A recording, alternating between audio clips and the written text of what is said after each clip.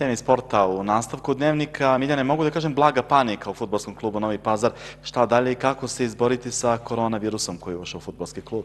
Da, najbolja najava. Zoran, u svakom slučaju, futbolski klub Novi Pazar ima još trojicu igrača zaraženih koronavirusom, pa se broj obolelih futbolera u tom kolektivu popeo na šest, rečeno danas u pazarskom prvoligašu.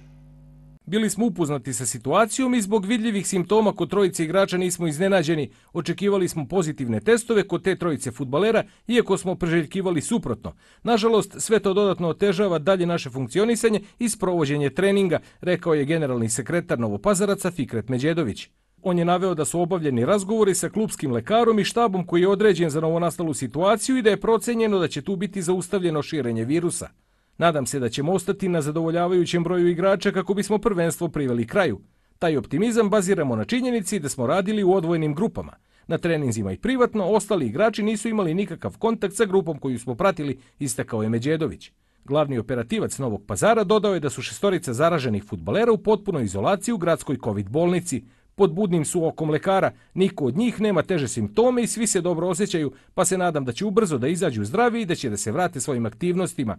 Na osnovu svega, verujem da neće biti novih slučajeva koronavirusa u našem klubu, kazao je Međedović. Prva Liga Srbije trebalo bi da bude nastavljena 30. maja utakmicama 27. kola, u kojem će sedmoplasirani Novi Pazar biti domaćin za tri pozicije slabije rangiranom Dinamu iz Vranja.